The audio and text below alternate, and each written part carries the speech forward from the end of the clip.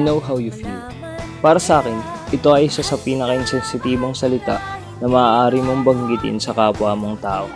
Lalo na kung siya ay naglalabas ng kanyang hinaing sa buhay sa iyo. Bilang pinagkakatiwalaang kaibigan, madalas, ang responsableng gawain sa mga sitwasyong ito ay makinig. At kung hinihingi, magpayo at tumulong. Ang pagsasabi na alam mo ang nararamdaman ng isang tao ay pagtatanggal ng atensyon sa kanyang naranasan at paglilipat nito sa iyo. Madalas, ang persepsyon na nakikita mo sa muka at kilos ng isang tao ay isang nakakalason na ilusyon dahil pinapataw mo ang iyong paghuhusga sa kanyang kalagayan bago pa man malaman ang kanyang istorya. Sa panahon ngayon ng paglabas ng social media, ang pagsishare ng inyong mga nararamdaman ay nakakarating sa di hamak na mas malawak na dami ng tagapakinig. Subalit, hindi pa umaabot ang pag-unlad natin sa sarili sa progresyon ng teknolohiya. Ang persepsyon pa rin natin sa sitwasyon ng iba ay limitado pa rin ng sarili nating mga karanasan. Kaya ako, interesado ako sa kwento sa likod ng bawat muka na aking nakakasalamuha.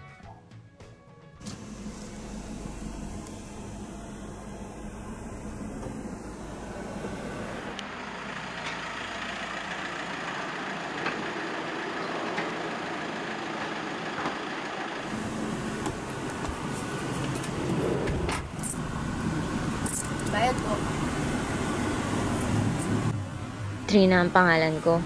Ako ay 21 years old at kakatapos ko lang ng high school. Oo, tamang pagkakarinig mo.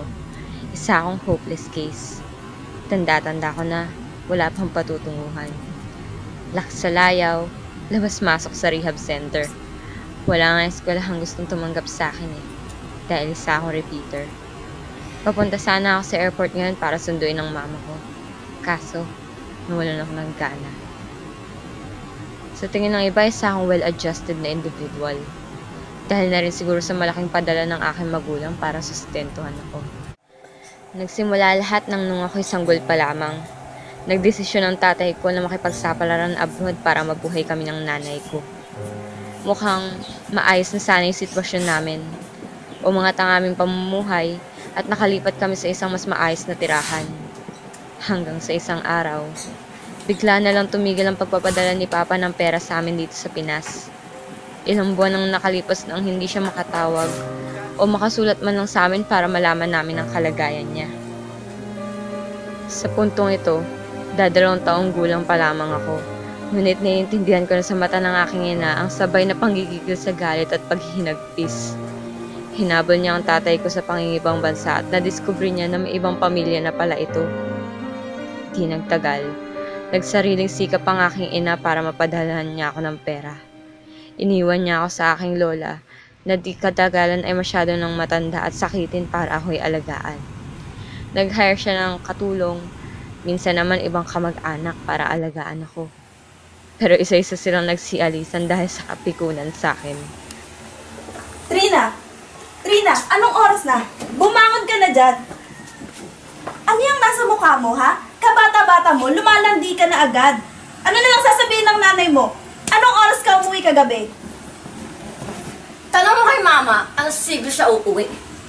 Palibhasa, pare-parehas kayong kakarag-karagang utak. Hindi makaintinding school project nga. School project? Anong school project? Sem break na, gaga! Nakadiscovery ako ng isang panibagong buhay nang ako'y tumuntong ng 13 anyos at pumasok sa high school.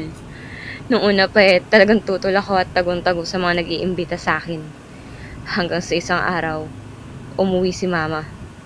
May kasakasama siyang dalawang bata at may pangatlo pa siyang dinadala sa kalamnan niya. Mga kapatid ko daw, may bago na rin siyang pamilya. Sobrang inis ko, naglayas agad ako. Pitong taon akong iiwan sa mga halos di ko kakilala tapos may pasalubong na kapatid. Hindi ko nga alam kung sino tong bagong kinakasama niya eh. Pero sa bagay, di ko rin gustong alam yun. Tatlong araw akong nawala. Akala ng mama ko kung ano na nangyari sa akin hanggang sa mahanap ako ng pulis.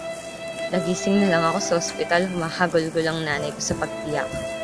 Hindi na raw niya ako iiwan. Magsasama-sama na daw kami dito sa Pinas ng aking mga kapatid. Nakita kasi sa test sa ospital na nagpositibo ako sa drugs. Malamang ito yung kinahibangan niya para magpumilit manatili dito kasama ko. Di lang niya alam. Nasa langit ako ng tatlong araw na yun. Lahat ng problema ko, nalusaw sa kawalan. Lahat ng senses ko, na-stimulate. Sobrang kakaiba sa pakiramdam. Matapos ma-check out sa ospital, nagpaalam si mama para ibalik ang mga kapatid ko sa Saudi. Kasama ang bago kong ama. Lumipas ang ilang araw, linggo at buwan pero di siya bumalik. May ilang beses siyang tumawag para mag-sorry at mag-promise pa ulit na babalik siya. Pera at pasalubong lang ang dumarating. Walang nanay na mag-aaruga sa balikbayan box. Dumaan ang mga taon, halos di na ako mausad sa pag-aaral ko. Tuwing tumatawag ang mama ko sa telepono para ako ipagalitan o pakiusapan, bumabalik lang ako sa droga, sa mga barkada, sa sex. Lahat na ng kaya kong gawin pang iwas para makalimutan ko tong miserableng buhay na to. Pagdating ng 15 anyos, namatay si Lola. Kala ko yun ang pagkakataon nang makita ko si mama ulit. Pero mali. Inilipat niya lang ako sa syudad at pinasok sa dorm ng mga kamag-anak ng inutusan niya. There, I've earned absolute freedom. I started partying and drinking until I passed out. Shoot up hanggang sa gusto ko. Mahabol ng dealers. Be as promiscuous as I wanted. The best life for someone as useless as I am. Ilang beses na rin akong naaresto at napiansahan para makalaya. Diretso sa rehab kasama mga kamag-anak na walang paki sa oras na ma-drop off nila ako doon. Labas-masok ako sa eskwela. Di naman ako bobo kung tutusin eh. Sa dami ng naloko at naisahan ko, hindi katalinuhan ang masasabi mong wala sa akin. Kaya sa katagalan, nakagraduate pa rin ako ng high school. Ang graduation ceremony ko ay ilang buwan na lang. Sa wakas, uuwi na mama ko para makita ako at dalhin abroad. Pero sa bawat pikit ng mata ko, binabangungot ako ng bawat sakit. Pangapi at lungkot dahil lang sa mga taong walang magulang na magtatanggol sa akin. Parang tutang inaanod ng baha. Walang pupuntahan. Walang mararating.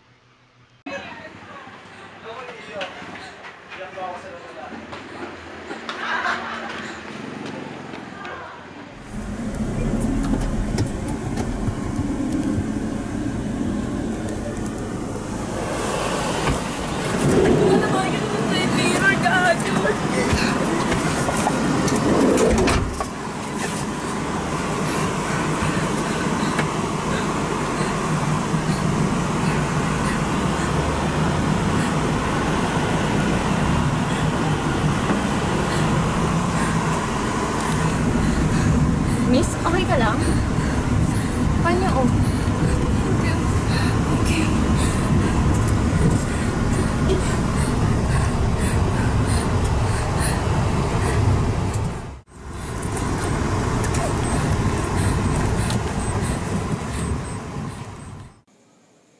Nagdidilim ang paningin ko. Wala akong magawa kundi kagatin ang labi ko sa sakit. My name is Mia. Whether or not na matatawag akong survivor ay hindi ko pa masabi. I just boarded the first vehicle I saw to get the hell out of there. As I frantically fumbled my belongings for my missing phone, nirecount ko sa isip ko ang napaka-unfortunate chain of events na nagdulot sa akin ito.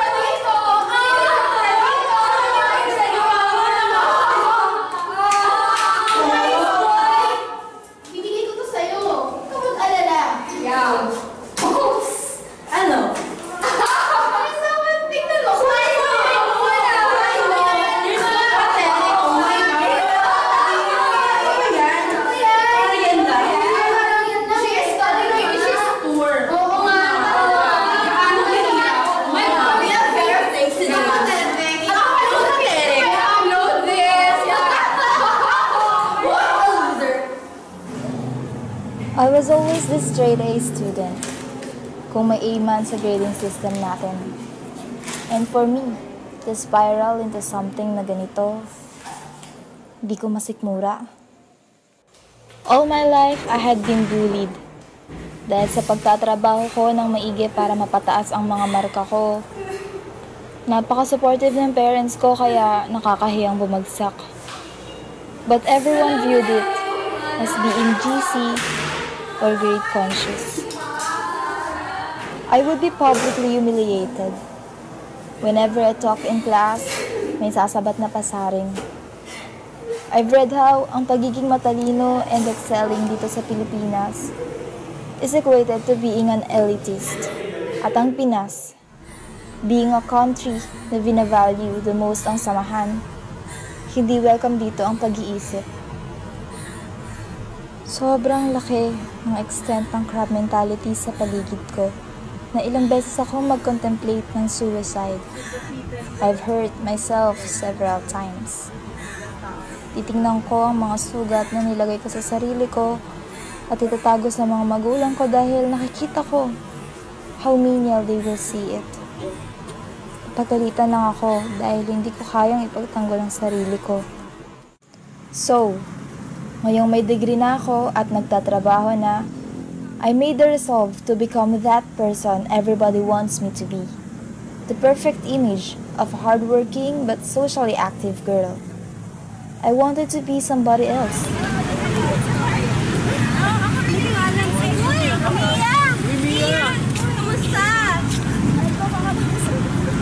Na? Hala, bakit uwi ka na? Aga-aga pa, oh. Oh, may party tayo later. Sama mo sa amin. Sama ka ha. Pag di ka sumama. Dali, sandali lang yun. Saturday naman bukas, walang pasok. Tapos, makapagpahinga ka pa na Sunday. Sige na, sumama ka kami. It will be so fun. Totoo. Madami rin kami kasama doon. Ano kami apat? Oo. Kaya hindi ka ma-OP. Isama na. Yes, sasama na siya. Basta huwag niyo ako iiwan ah. Oo, kami bahala sa'yo. Promise. I went out then with a couple of my office friends a few weeks ago. We went to this club to party. Uminom ako ng ilang shots na sumunod sa lalamunan ko at nakipagsayawan. Soon enough, a guy approached me and started to dance with me. I froze in silence and excused myself. Tumakbo ako sa CR, namumula at nangikilo. They escorted me back to our table. Soon enough, this guy who approached me came back. Okay lang, medyo nanginom lang ako dito. Nene, ano naman nangyari sa'yo? Ano kaya? Okay lang. Ganyan talaga ang pagbago.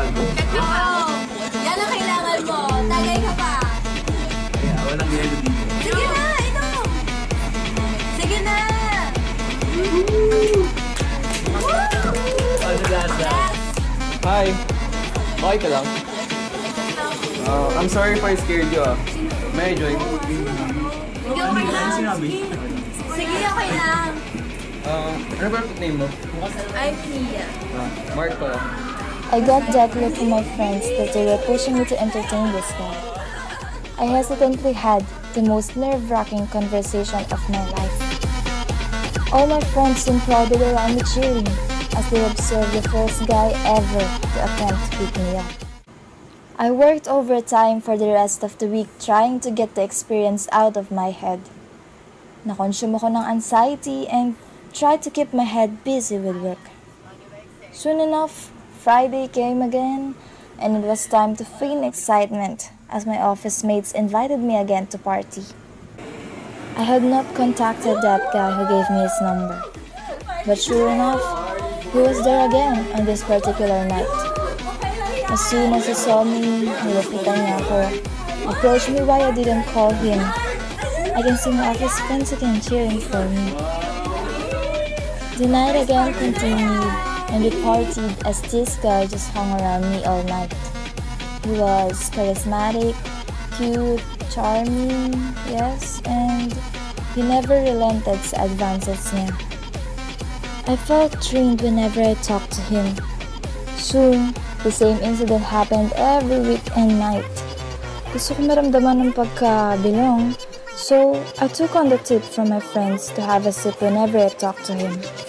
Those sips became shots, and those shots became full glasses. With each sip, I felt empowered. Talking to him became a breeze. So much so that I agreed to go out with him. Um, mag-CR lang ako ah. Oh, sige. Okay lang, sige.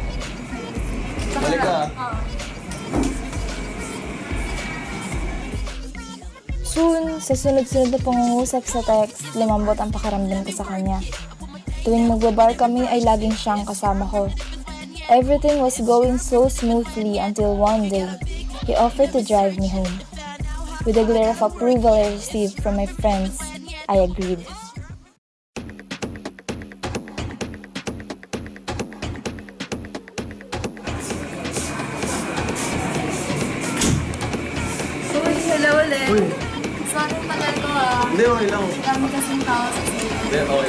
Lang. Sanay mo na maghintay. May doon na pala. Sanay ko naman din.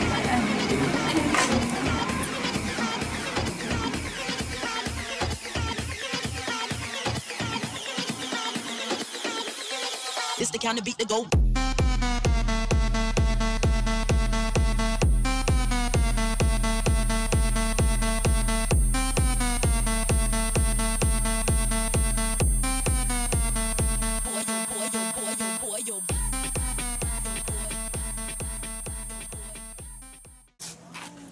He then placed his hand on me. I tried to brush it off but it kept going up. Di nagtagal, I felt the alcohol or rather something else burn up inside me. Lalo akong nahilo until I eventually passed out. Kita, saglit lang.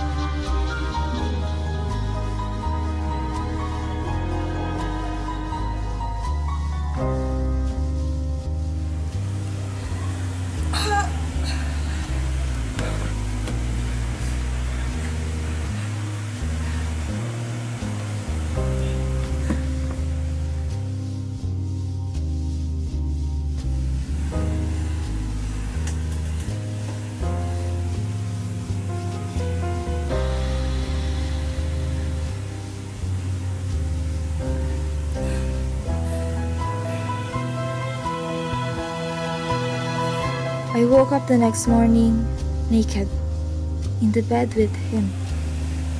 I was never so horrified in my life. Private region hurts and burns. I quickly grabbed my clothes and ran as fast as I can and boarded the first vehicle na nakita ko.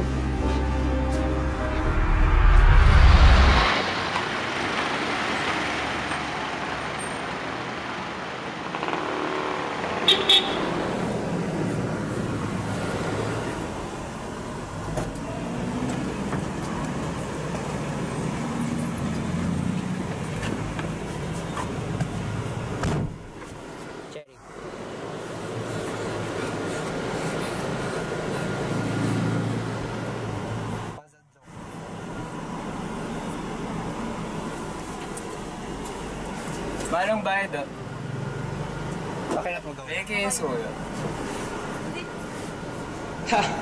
I am the luckiest guy alive. Hi, my name is Finnick, but most people just call me Finn.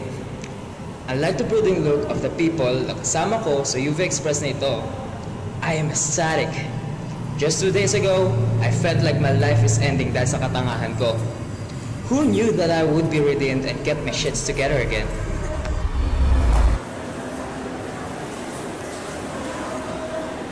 Nito lang kasi, my boyfriend and I celebrated our 5th anniversary.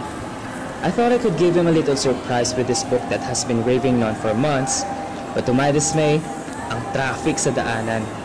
Punyeta, nakabunggo pa yung sinasakyan ko. May bakla kasing tatangatang tumawid. Puro landi. Well anyway, bumaba ako sa mall at dali-daling tumakbo sa milk tea shop na pinag-usapan namin. I looked around, pero wala na si Jacob, my boyfriend.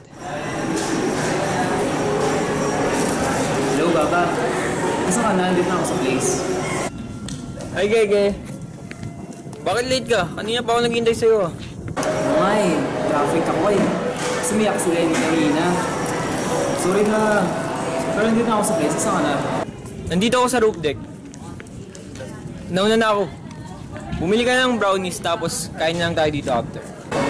Ah, okay, sige. Mm. Yun lang ba? Baka gusto ko pa, bibilin ko. Yun lang, yun lang. Okay, sige, sige. Punta na ako, bye-bye. Yes, Gege. Ingat. Love, love. Love, love.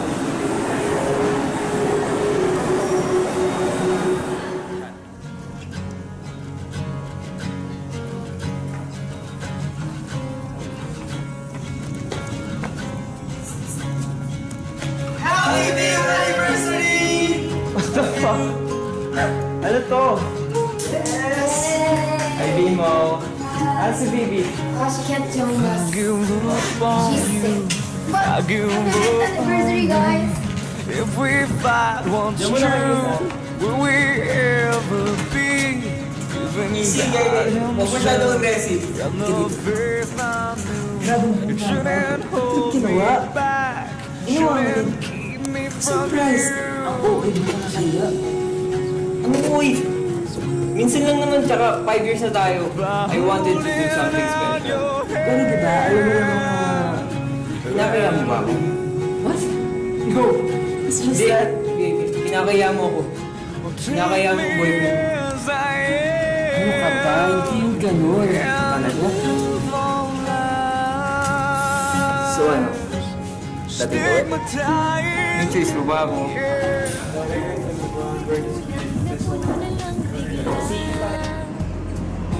Si Mateo. Grabe, patay ko. Speaking of patay to, ano yung brownies na pinabili mo? Specially made for Hindi ko mapigilan ang aking nadarama Pag ika'y kasama, ang pangit ay gumaganda. Sabi nga nila, tunay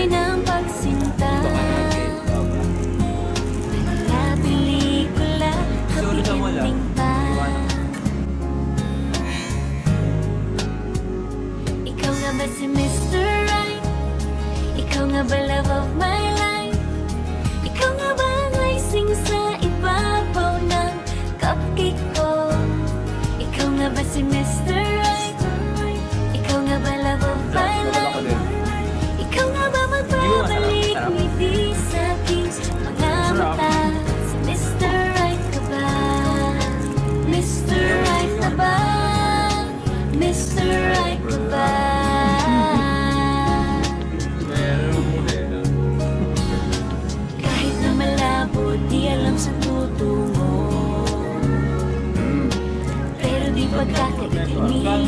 68. Ama. Tagal na rin naghihintay, tumibok ang puso ko.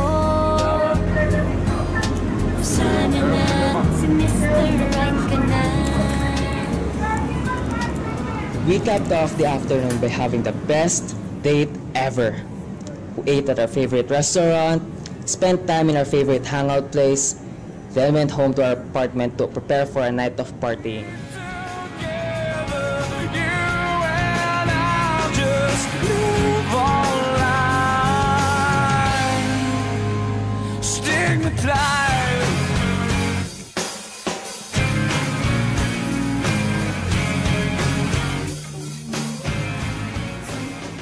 I browsed through my laptop and read the news na legalized na pala ang same-sex marriage sa US.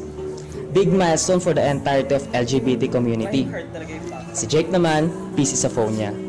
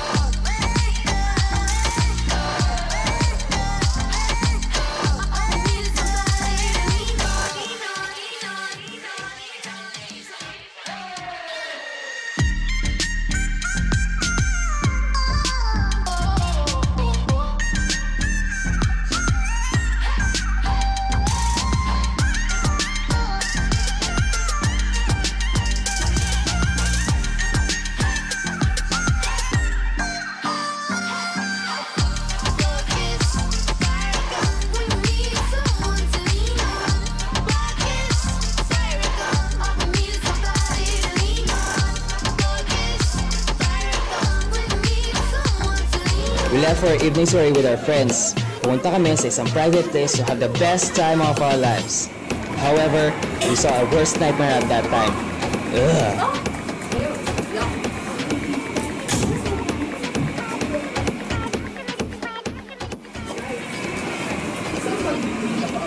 What the fuck is he, she, it doing here? Akala namin nasa Thailand siya. Well, obviously, nakauwi na. Balita ko nagpa-sex change sa Thailand. Huli no! Alam mo kaya na newsfeed ko lahat ng IG post niya. Eh, kulang na lang pakalandaan niya sa buong mundo yung new vagina niya. so pathetic. Hoy, huwag kang ganyan. Na-offend pagkababae ko. Asan? Asan ang pagkababae dyan? Hello, nasa boyfriend mo. Babae ng taon. Wait, wait, wait, wait. Are we on the same page? We wouldn't want to be like something like that? Di ba, Baba? Yes naman, maybe. Wait, anyway, di ba gano'n mo talaga sa Thailand? World Sex Change Destination. You know, that's what I don't get eh. Gusto nila maging babae. Please. Ikaw, Gege, ayaw mo bang magpa-sex change? Wait, don't tell me gusto mo. Ah, guys, wala na tayong drinks. Listen nyo ah! What's wrong with you? I'm sorry. I didn't mean to draw the attention up. Alam mo naman si Pin, di ba? Ayaw niya sa mga transgenders, transdressers. Sorry na nga eh. Babae ng taon. Laking tulong, Mark. Thanks a lot. So, balita ko, pupunta ka na sa France.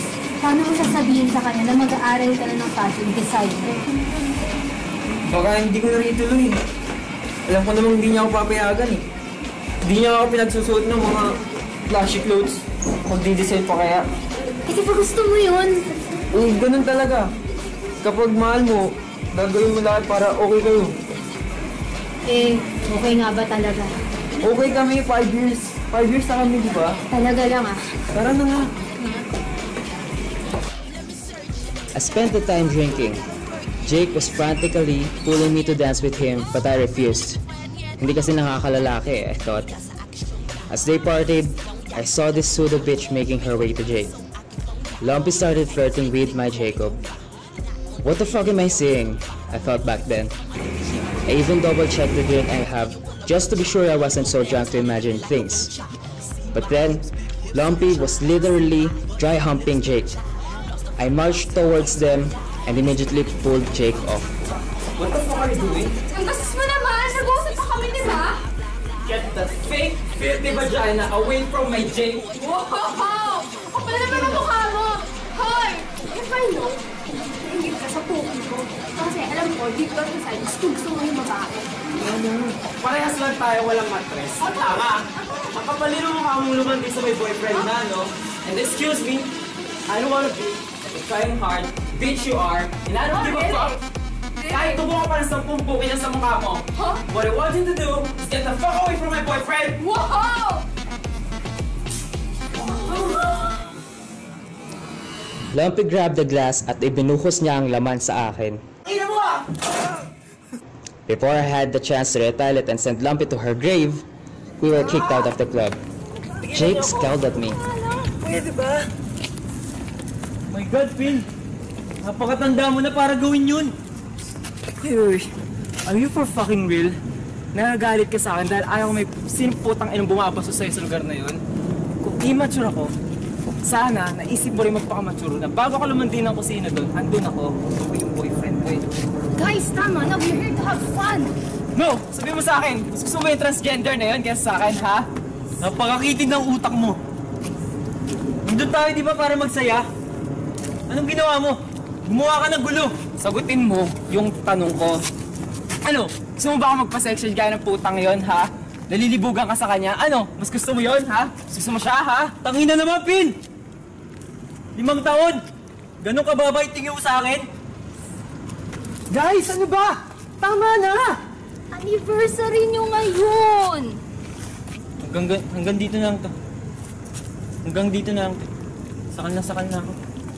Jake! Sige! Walk out ka! Diyan ka magaling! Magdrama para kang babae! Tiyan mo ako! Magsama-sama-sama kayo! Ah!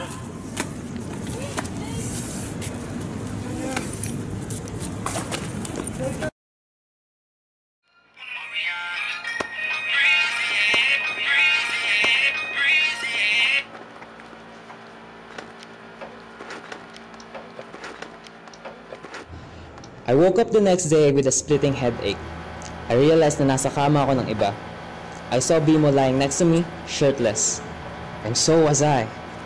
What the fuck, Dimo? Kaka mo eh! Kalimutan mo ba ang straight ako? Gagong to, hindi pa nasanay yun. Ah, sakit ng ulo. Oh, fuck!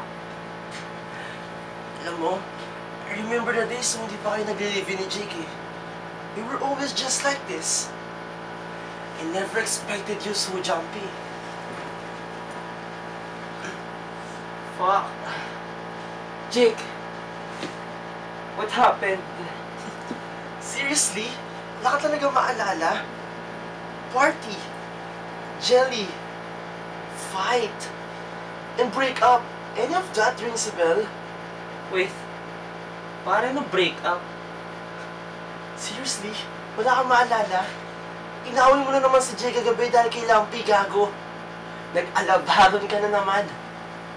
I did what? Asan siya? I don't know. Malamang, Gina-Gina naman sa yun. Wait. I have to find him. Come on, pick up, pick up, pick up! Fuck! Pinatay niya! Ah! So what's your plan? I have to go find him. Pero I'm sure na. Sakto. Sorry ako. Sorry. Tapos ano? What do you mean? Hindi mo na nga pagiging dense, Finn. Minsan, nilala mo na ng Pin syndrome mo yung utak mo eh. Napaka self-centered mo. Wow, wow, wow. Big words pare. Problema ba tayo? Tanga, tayo wala. Pero kayo ni Jake, meron. Sobrang laki.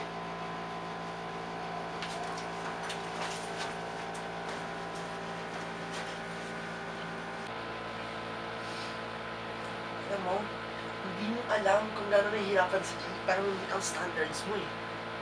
Para makuha ang mga gusto mo. Passion ni Jake ang clothes fame. Gusto niya magsuot ng mga damit na hindi mo maating suotin. Dahil paminta ka masyado.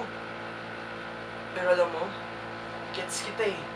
Alam ko kasi kung saan ka nanggagaling. Puntahan mo si Jake, kausapin. Pero sana naman, this time, masolve niyo na talaga yung problema niyo. Alam mo, you guys seems perfect together. But you don't meet halfway. Kami close friends yung nakakakita nun.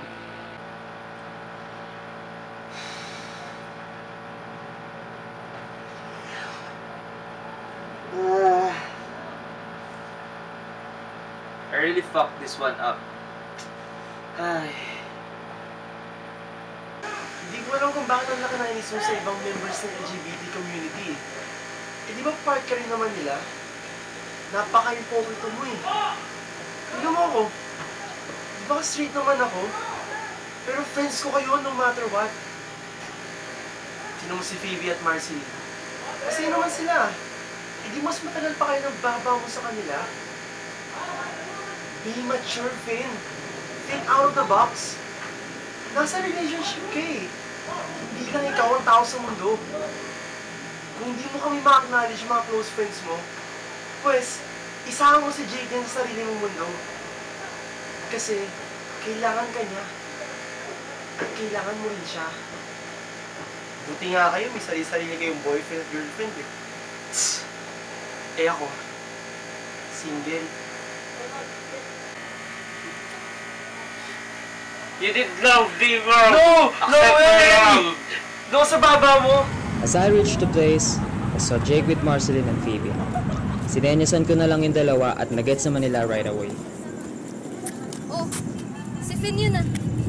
Usap na nga kayo. Kayo lang naman makakapag-ayos yan eh.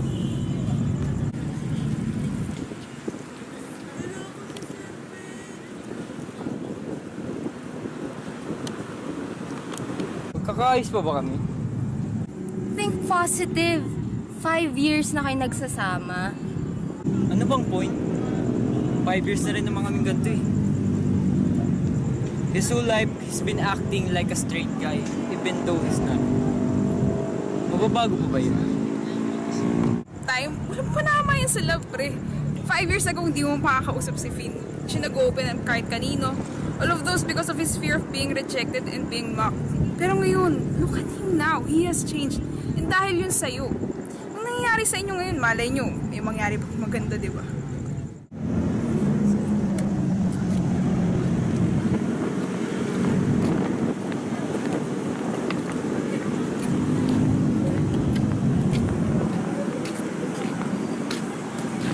So I heard you want to go to Paris, France for fashion designing career. How do I look? Ang ginawa mo sa sarili mo. Well, made a fool out of myself. I was so stupid and I've never been so wrong in my life. Takot ako sa sasabihin ng iba dyan. All my life, I wanted to live normally. I wanted to love you for real, without fears. But then last night, made me realize that I'm a terrible person. Yung kakaunting oras na hindi tayo magkasama, yung nagpalaman ako sa sarili kong galit. It made me realize that being gay is not a terrible thing, but the real me. Yun ako eh. Yun tayo. Ang mali yung magpanggap ako everyday and to force you to do the same. I was so selfish and I was so unfair to you. Hindi ka lang naging unfair sa akin. Naging unfair ka rin sa sarili. Sa mga kasama natin sa LGBT community. Hindi ka nag-iisa. Maswerte nga tayo. Marami nang tumatanggap sa atin. Promise. Hindi na ako magsaselo sa iba. Kahit sino pa yan. Well, of course, unless nasa lugar. Pero ito, I promise. Date, kahit saan. Wherever you want, however you want. Wala akong pakialam kahit sino pa makakita sa atin. Walang makakapigil sa atin. Seriously though, Jake, I'm sorry. Nadama naman sa pakit mo eh. You owe that to somebody. And besides, mas saktan mo siya kagabi. More than anyone. Out of thin air, Lumpy came into the scene. I almost screamed, but then of course I know I had to hold it in. Kidding. I needed to change, and I started at the moment by seriously apologizing to Lumpy. Lumpy, I'm so so sorry for how I acted last night. I know. Oh, enough na. Wish I kaya magsinim ng galit si Wata. You know, understanding naman si Atashi. Ako baba. Atashi, Watashi no, na may wa. Mahal mo tong si bakla eh, oh. Side na side naman dyan sa outfit mo. Kaya kebs lang yung last night, girl. Ah, wrong din naman si Atashi eh. Pero, FYI ah, learn ko na kayo for years, kaya kaya hindi ko aagawin sa'yo to si Jake, hindi ko naman siya bet, no? Kaya, I'm happy and you're forgiven. Thank you. Sobrang thank you, Lumpy. Hiya talaga ako sa'yo. Promise, ito. Magiging pantay na tingin ko sa ating lahat.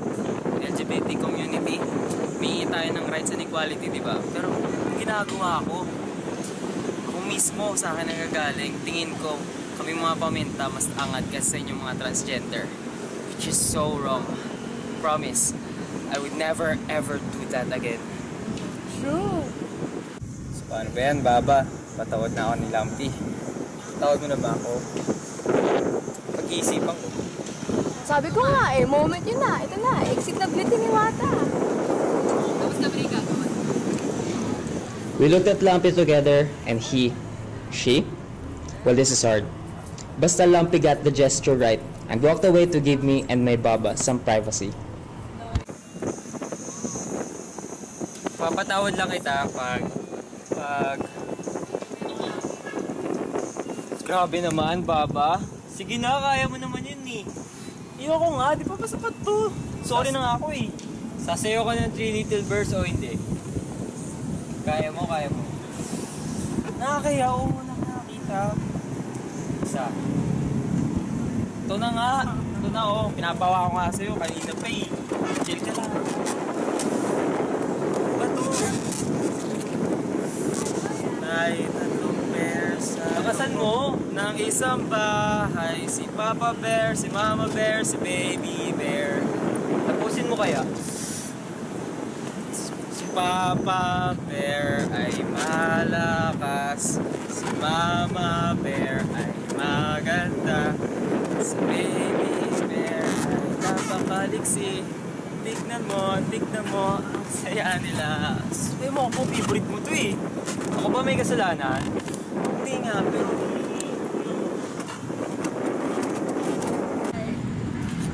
Sorry ah, straight ako eh. Wow!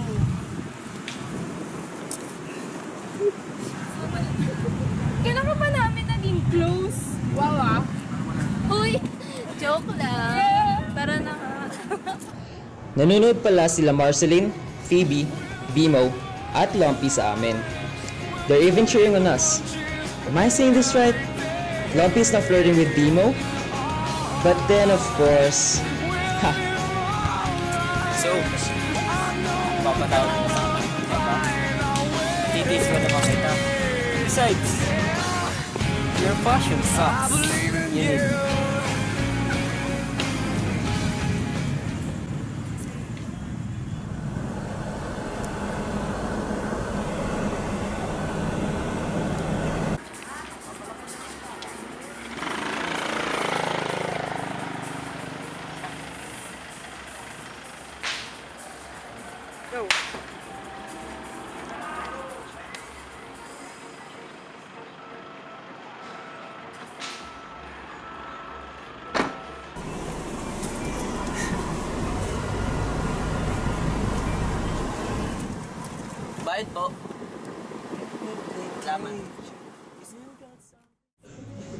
Where do broken hearts go nga ba, Tita Whitney? Isa sa pinakamabigat na tanong sa isip ng mga hopeless romantics matapos nilang mapanood ang movie ni Angelica Panganiban. Saan ka nga ba tatakbo kung mismo si Destiny na ang naglalayo sa inyong dalawa? Ilang bigas pa nga bang kakainin para mapalapit ka naman sa milyang-milyang haba ng diferensya ng buhay ng dalawa? Minsan nga, wala kang magagawa kundi maging isang shoulder to cry na lang. Isang tagapayo at isang observer sa buhay niya. Kahit gaano pa katagal sinubok ng panahon ng pagkakaibigan niyo. Ano nga ba naman kasi ang pinagkaiba ko sa dami-dami ng humahanga sa kanya? Kung ako mismo best friend niya, hindi niya kaya aminin na gusto ko siya.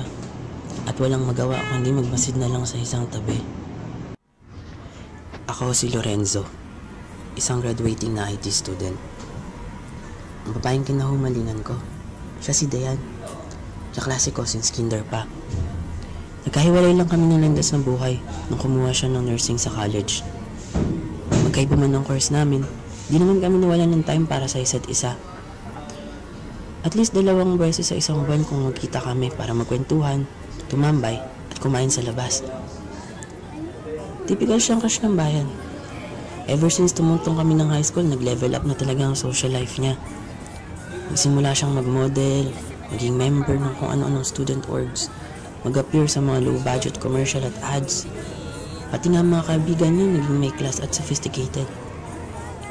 Pero kahit pa napaka-busy na ng buhay niya, di niya nakakalimutang makibarkada sa dati niyang friends.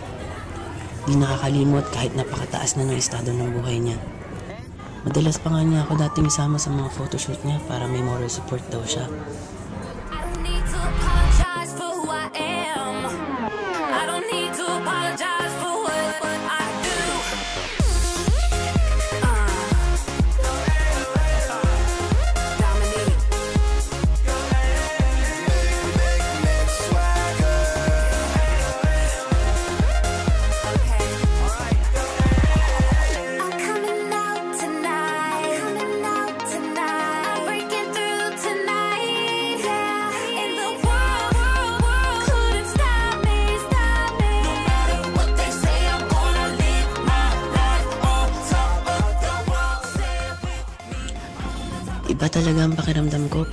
Siya. Ibang klaseng liwanag ang nararamdaman ko hanggang sa kalooban ng diwa ko. Sa tunog ng kanyang tawa, hindi ng mga mata, kinis ng balat, himig ng boses sa pagsasalita, at ngiting nakakatago sa kaluluwa. Ang daling maging mahata dahil hindi ako naubusan ng mabubulaklak na salita. Nakikita ko na ang future ko. Napakaliwanag hanggat nasa tabi ko siya. Tumatawa, umiiyak, at nagbibigay dahilan para mabuhay ako.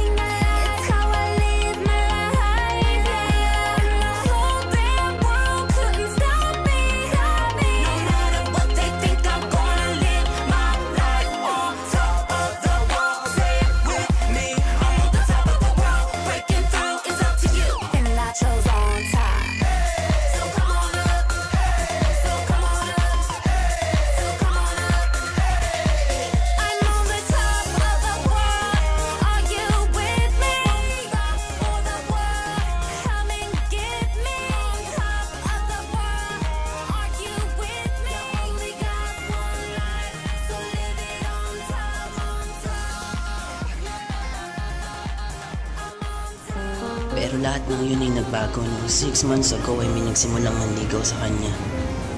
Mateo ang pangalan. Dalawang taon lang tanda sa amin at isa ng ganap na engineer. Galing din siya sa university namin. Rich kid, gwapo, matalino tapos musician pa. Lahat na ng inaasam ng mga babae. Si Dayan ay galing sa isang conservative family. Talagang studies first. O di kaya naman ay pagtatrabaho para sa kanyang career. Pero may kakaibang quality to si Mateo na nagpalutong sa kanya.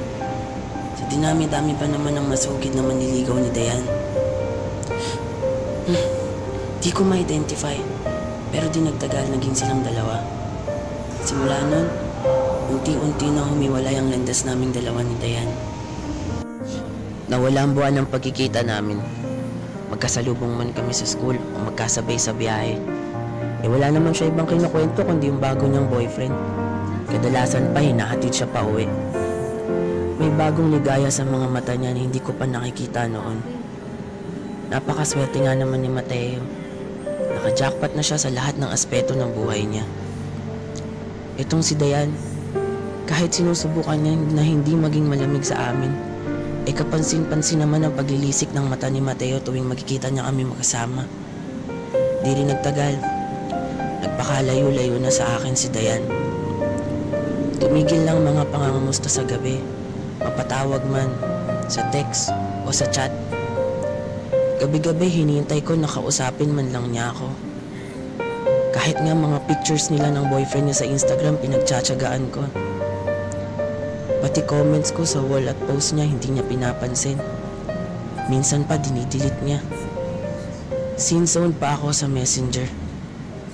Minsan inoobserbahan ko mga tweets sa status niya bago ako mag-post ng sarili kong update na alam kong makaka-relate siya sa hopes na magla-like man lang siya. Hindi ako makatulog sa gabi kakaintay ng sagot. Konting panahon pang lumipas at kinain na ako ng desperasyon. Dumaan ako sa bahay nila na malapit lang sa amin. Paulit-ulit ko tong ginagawa. Pero sabi lagi ng katulong nila wala siya sa bahay. Kung di nasa org, photoshoot or event, kasama si Mateo. Nakakapikon na na dahil lang sa mukong na to. Nawala na ako ng panahon kay Dayan. Matapos ang ilang buwan pangungulit, hininto ko muna ang pagkokontak sa kanya at nanahimik. Isang maghapon habang binabrowse ko ang mga pictures sa vlog niya, tuluyan kinain ako ng selos kay Mateo. Hindi naman lingid sa kaalaman ko na matagal Pero sa mga pictures na nasa kamay siya ng iba, lalong tumitindi ang paghahangad ko na maging akin siya. Na maging ako ang humahawak sa kanya ng mahigpit sa mga pictures na yun.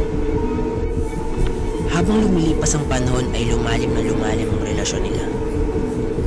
Ako naman tong si number one fan ay napansin kung gaano kalaki ang pinagbago ng sexualidad ni Dayan. Paikli ng paikli ang kanyang suot palaki ng palaki ang maputi niyang balat na nakikita ko sa mga pictures. Napaisip ako na kung ganito ang kaya niyang ipakita with confidence sa harap ng camera at willing siyang ipakita sa buong mundo, ano nga ba ang kaya pa niyang ibigay? Lalo na sa taong mahal niya.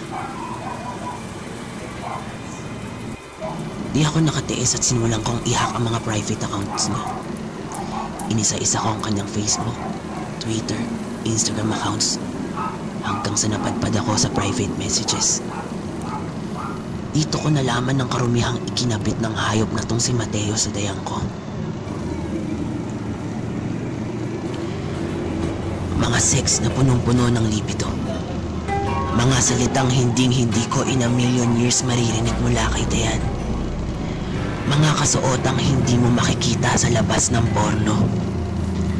Konting pagbabrowse pa ay nakita ko ang email account niya. Dito. Dito nagpiesta ang mata ko sa hubad na katotohanan.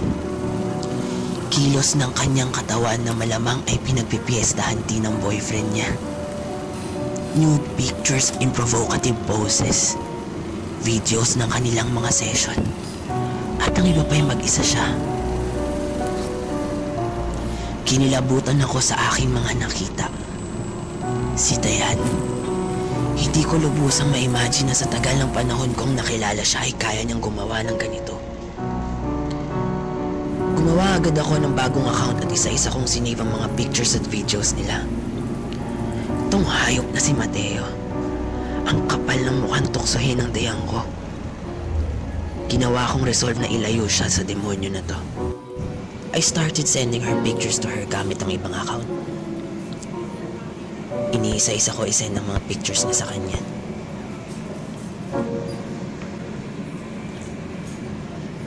Everyday, pinupuno ko ang inbox niya ng mga sari-sari nilang post. Minsan isasend ko nang alam kong posibleng may makakita na iba habang binabasa niya. I threaten her na oras na i-block o isumbong niya ako ilalabas ko to sa public. Di nagtagal, kinonfronta ako ng boyfriend niya gamit ang account niya. Di rin nagtagal, nagsimula na silang mag-away. Minsan in public makikita mo ang tampuhan ng dalawa. Nagsimula na ulit magkwento si Dayan sa akin.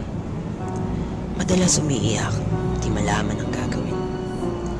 Di niya kinukwento ang dahilan ng pag-aaway nila kahit kailan. Pero syempre, alam ko. Tuwing nakikita ko unting-unting nagkakayo sila ulit, nagsisend ako ng bago.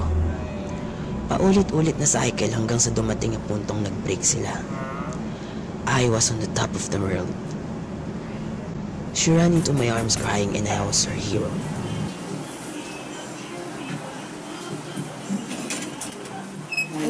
Basta. Tara. Ito na.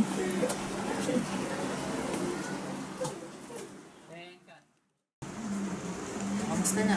Tagal mo walang paramdam ah. Ano na kami? Oh? Bakit? Wala siya. Wala siya. Ano nangyari? Hindi ko kaya yung magagawa niya sa akin eh.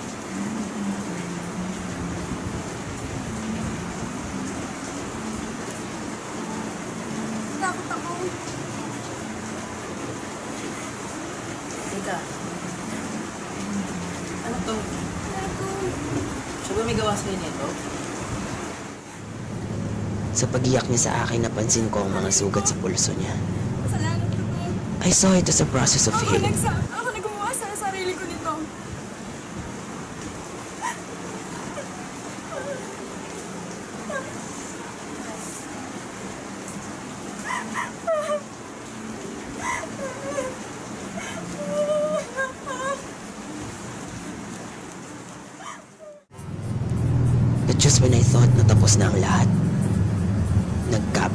Sila.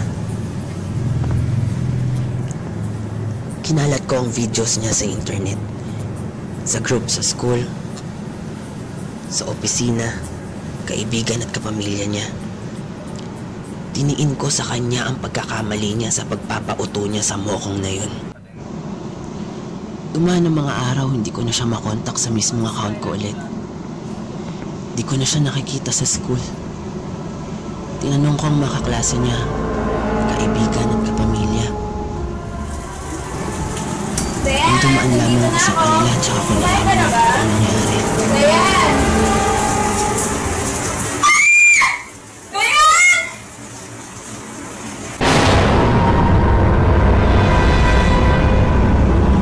Wala na si Dayan. Kinitila niya ang sarili niyang buhay.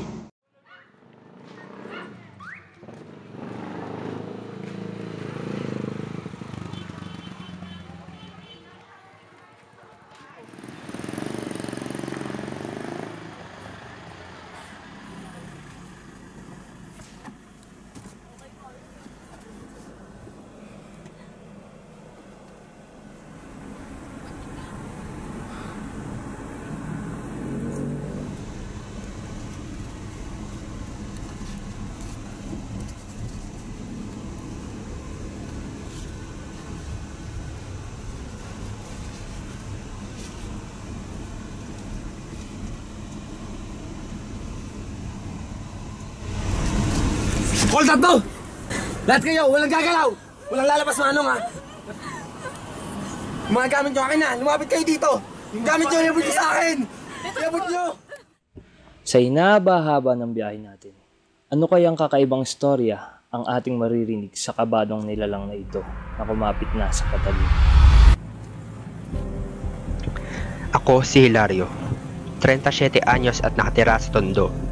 Isang taong naubusan na ng pagpipilian sa buhay. Tubo akong San Juan, Siquijor at dumayo sa Maynila katulad ng katakot-takot nating kababayang probinsyano para mapatupad ang aking mga pangarap. Dumayo ako dito noong ako'y 16 anyos pa lamang para matulungan ang aking sakiting ina at ang pito kong kapatid at maiahon sila sa kahirapan. Sa ganong edad pa lamang, kung ano-ano ng trabaho ang pinasukan ko.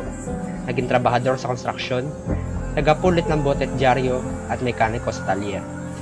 Noong mga panahon na iyon, ay nakikituloy lamang ako sa kung sino mang may malambot na puso na maipapahirap ibubuong sa akin. Ang kaunting maipapakain ko sana na masarap sa sarili ko ay pinadadala ko sa aking pamilya sa probinsya. Napaka walang kulay ng buhay ko. Araw-araw nagtatrabaho nang hindi para sa sarili ko. Padilim ng padilim ang nakikita ko sa kinabukasan ko, nawawalan na ako ng pag-asa. Nagbago ang lahat na makilala ko si Lunita.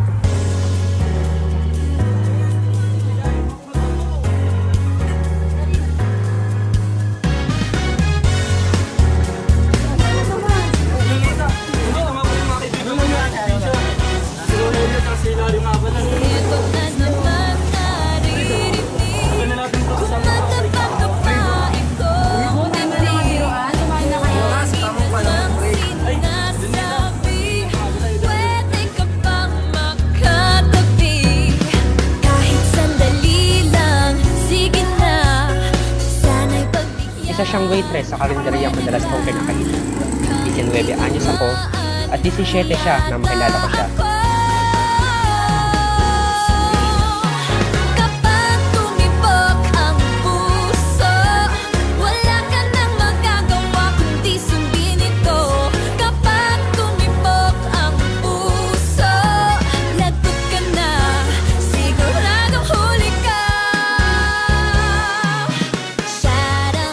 Katulad ko, may pito siyang kapatid at wala na silang ama. Sinimulan ko siyang ligawan hanggang sa maging kami.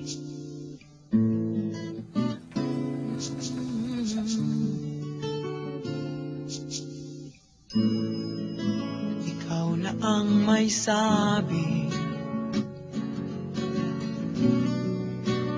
Na ako'y mahal mo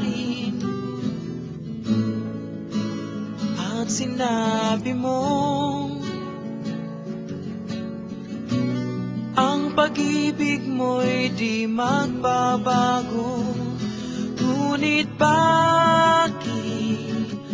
sa tuwing ako'y lumalapit, ika'y lumalayo.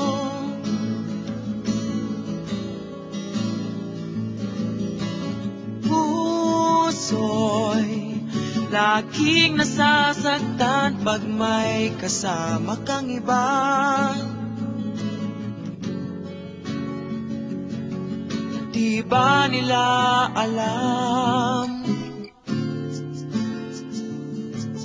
Tayo'y nagsumpaan Na ako'y sa'yo Kay akin lamang Isang taon sa relasyon namin, nagkaroon kami ng anak. Pinilit kami ikasal ng kanyang pamilya at naging mag-asawa na kami. Sa ngayon ay nakatira kami bilang squatter kung saan man kami makakakita ng malulugaran. Madalas kami palayasin ng aming mga pinuupahan. Kahit sila mismo naman ay mga squatter lang din. Di nagtagal namatay ang aking ina. Lima sa aking pitong kapatid ay nagsisunuran sa Maynila. Sa amin sila nakituloy hanggang sa ilan ay naging kapitbahay pa namin. Ngayon ay may labintatlo kaming anak ni Lunita. Kasama namin ang kanyang ina, dalawang kapatid sa aming bahay. Sila mismo ay may pamilyang panig-panig. Ito lang po ulit yung nabili ko sa karinderya eh. Okay lang yan. Magtiis muna tayo mga anak.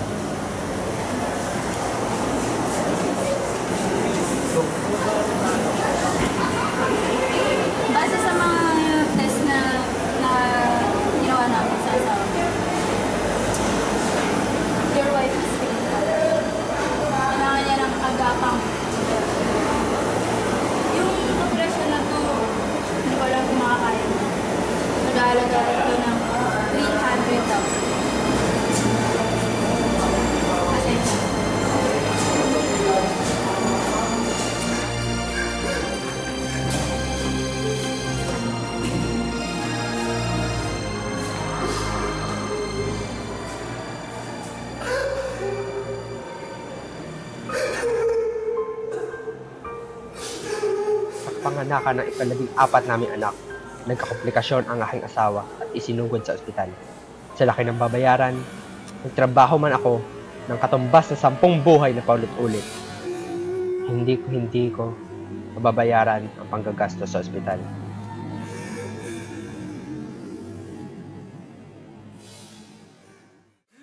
Hina ng dalawang dore. Tama agad. uy! Uy! Mo. Mainom pa tayo. Uy! Ay, pre, mga iba tayo, pre. Oh, basta na si ano, yung asawa mo, ano ba yan? Lunita ba yan? Uy, sensya na. Hindi ko na... Hindi ko alam kung anong gagawin ko, pre. Kaya nga naglasing ako dito kasi lungkot na lungkot hindi ko na alam kung saan ako kukuha ng pera. Oh, tama pa lang ni Rama yung namin. Pero pre, oh, congrats dahil may may baril ka na ba, pre? Oo, pre. Pakalisensya nga lang eh. Tingnan mo, pre. Oh. Oo nga, pre. Tingnan mo, maganda yan. Tingnan mo, pre. Oh. Ang ganda. Oh. Ganda. Ah, pre, tingnan mo. Gusto mo? Mm. Huwag mo matutok sa akin, pre. Baka maputok mo to. Baka gusto mo. Itong dalawa, pang bako na eh.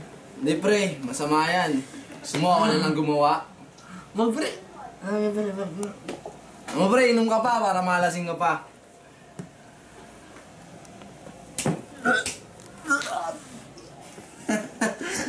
pre, isa pa, isa pa. Ikaw matibay, di ba? Kaya ko din. Okay, inom pa dyan, pre.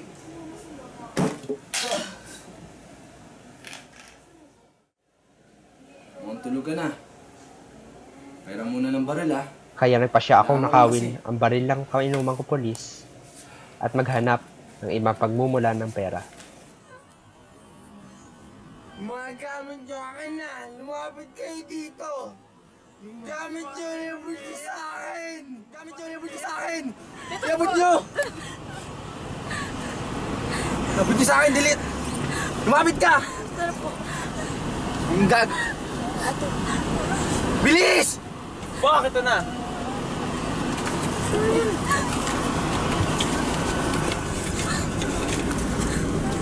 Paano? Paano diretso lang? Paano? Diretso na lang. Ano yan?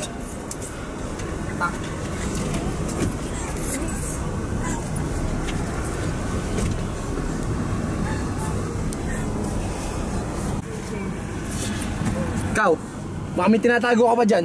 Wala na, tangina ka. Ano, nagmumura ka pa? Kay, kayo, kayo! Nasaan na?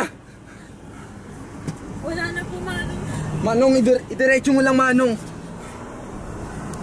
Kailangan ko lang yung pera. Kailangan ko lang talaga, pasensya na.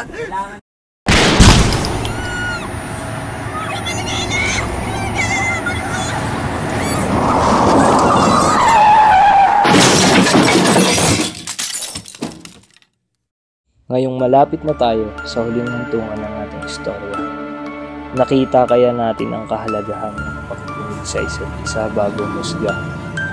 Maaaring nakakaantig itong pakinggan sa isang epokritong walang ginawa para sagipin ang mga pasahero niya. Napakinggan mo na ang tinig ng kanilang mga boses, ang sakit ng kanilang hinaing, o ang naidulot nilang pasakit sa sarili o sa iba.